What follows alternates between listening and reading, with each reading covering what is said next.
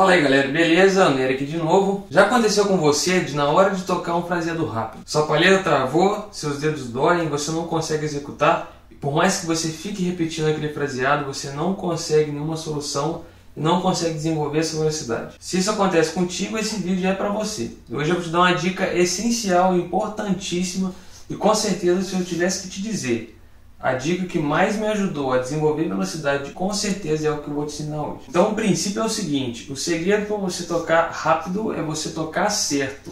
E você tem que entender qual é a maneira certa de tocar cada fraseado que você for estudar. Então, você tem que entender quais são os ritmos, qual é o tempo de cada nota, qual o devido lugar de cada nota no tempo. Você tem que entender que tudo que você toca, todo fraseado, solo, riff, tá? É, acorde, tudo que você toca tem um ritmo, tá? Tem um tempo.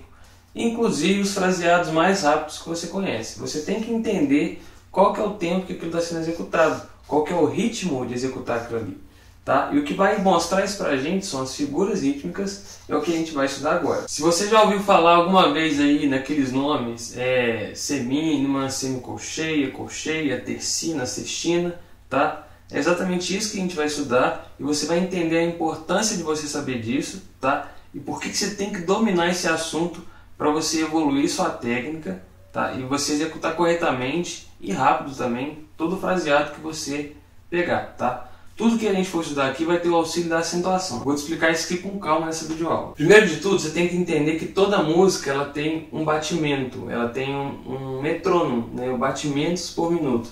E com isso a gente vai ter que utilizar o metrônomo para estudar corretamente cada um desses tempos, tá? Então você tem que ter um metrônomo aí, você tem que entender que toda música vai ter um metrônomo por trás, como se fosse isso. E a partir desses batimentos, né, a partir do tempo da música, é que a gente vai subdividir as notas no decorrer do tempo. Então, se eu tiver uma música, né, um batimento nesse tempo, nessa velocidade, eu posso tocar de várias maneiras. Posso subdividir as notas no decorrer dos batimentos, tá? Então, eu vou te passar aqui as figuras rítmicas mais comuns nas músicas. Então, primeiro, ó, uma nota por tempo.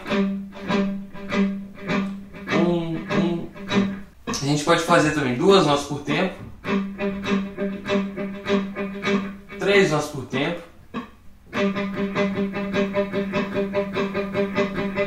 Quatro notas por tempo.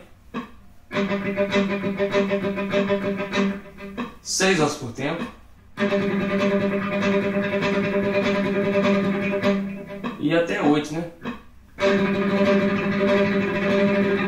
E aí o primeiro exercício que você pode fazer é esse, tá? Põe o metrônomo aí e toca cada um desses tempos, dois, dois tempos, duas notas por tempo, três notas por tempo, quatro e seis, tá? Assim você já vai ter uma, um domínio maior sobre os ritmos que você pode ter, tá? Isso não vale só para sua palhetada, como também para sua mão esquerda, tá? Então para mão esquerda a gente podia fazer isso aqui, ó, duas notas por tempo, ó. Um, dois, um, dois, um, dois. A gente pode fazer três notas por tempo.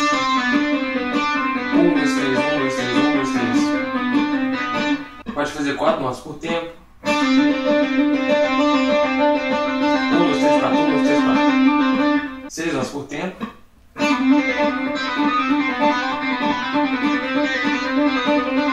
Então isso tudo que eu acabei de fazer aqui já é um exercício para você treinar aí, beleza? E agora que vem realmente a dica que me ajudou muito a desenvolver a minha técnica e a minha velocidade, que é a acentuação, tá? Qual que é o segredo aqui? Você vai acentuar a nota do clique. Então você vai fazer lá um padrão de quatro notas e aí a primeira nota desse padrão vai ser acentuada, você vai dar uma palhetada mais forte. Mas qual é a importância disso? É porque essa sua palhetada acentuada, ela vai fazer o papel do metrônomo quando você estiver no meio da sua música. Por exemplo, vou pegar aqui um, um desenho da pentatônica, um pedaço dela, ó. Né? E aí qual é a ideia? Eu vou fazer esse padrão e acentuo a primeira nota ó, de cada, a cada clique ali. Ó.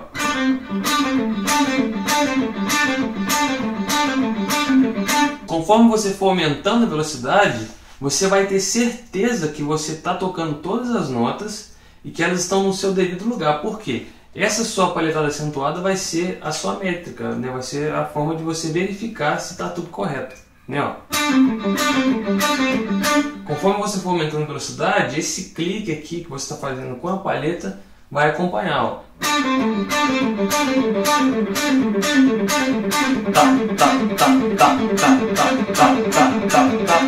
Então, cara, a ideia é o seguinte: tudo que você for estudar, você coloca acentuação, tá? Porque aí você vai saber exatamente aonde que está o clique do metrônomo na música, tá? E aí eu vou te passar aqui agora alguns exemplos de escala, tá? De exercícios para você ver como é que isso acontece nos nossos fraseados de improvisação, nossas escalas que a gente conhece, beleza? Então, no caso de duas notas por tempo, você pode usar a pentatônica, tá? E vai ficar assim, ó.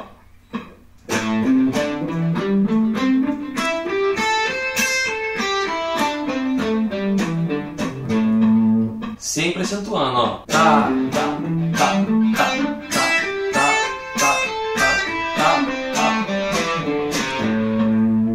Três notas por tempo, eu posso pegar aqui, por exemplo, um, um Lá, um Lá mixolídeo, desenho de, de Lá mixolídeo.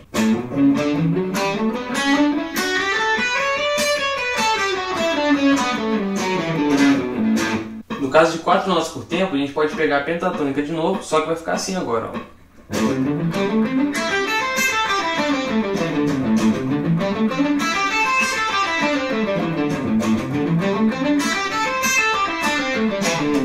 E agora, 6 notas por tempo, eu baixei um pouco a velocidade ali para vocês perceberem como é que funciona essas 6 notas por tempo, tá? Isso aqui é o que a gente chama de sextina, beleza?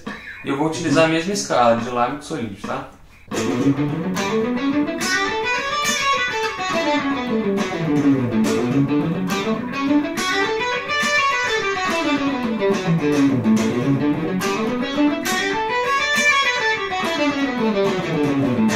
Então é isso, cara. O segredo para você tocar rápido é tocar certo e entender cada ritmo de cada fraseado que você tocar, entender essas figuras rítmicas, tá? Duas notas por tempo, é, três notas por tempo, que a gente chama de tercina, quatro notas por tempo, seis notas, que a gente chama de sextina, e aí vai, tá? Então, tudo que você for tirar, tudo que você for tocar, você tem que prestar atenção qual o tempo que é esse fraseado. E aí uma ideia para você saber qual que é o fraseado, né, qual que é o tempo do, do fraseado, é você escutar a música e fazer a marcação lá do tempo. Vai fazendo clique assim com o dedo e vai contando quantas notas tem, né? Tipo, taca, taca, taca, taca, taca, taca, taca, taca, taca, taca, taca, taca, taca. Se estiver rolando assim, quatro notas por tempo, né? Você tem que começar a perceber isso daí. Então, quando você for ouvir uma música aí, ouvir um solo, tenta fazer essa contagem aí, vai fazendo taca, taca, taca, taca, não tem problema não. Vai sofrejando assim mesmo, que você vai começar a entender esse lance de ritmo, beleza? Então é isso, não esqueça de acentuar sempre, tá? A acentuação foi o que, tipo, me salvou, foi o que me deu um, um empurrão, assim, para desenvolver técnica, tá? Então não negligencie esse, esse assunto. Então é isso, bom estudo para você, que você saia fritando aí até não querer mais. Não deixe de curtir esse vídeo, compartilhar com seus amigos e se inscrever no canal, beleza? Um grande abraço e até mais.